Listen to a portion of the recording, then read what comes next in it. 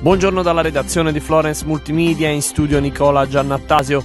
Traffico regolare su tutta la rete stradale ed autostradale della regione toscana. Fare attenzione per il maltempo con neve prevista sul tratto appenninico della A1 e sulla A15 tra Fornovo e Pontremoli. Sulla Fipili vento forte lungo tutto il percorso.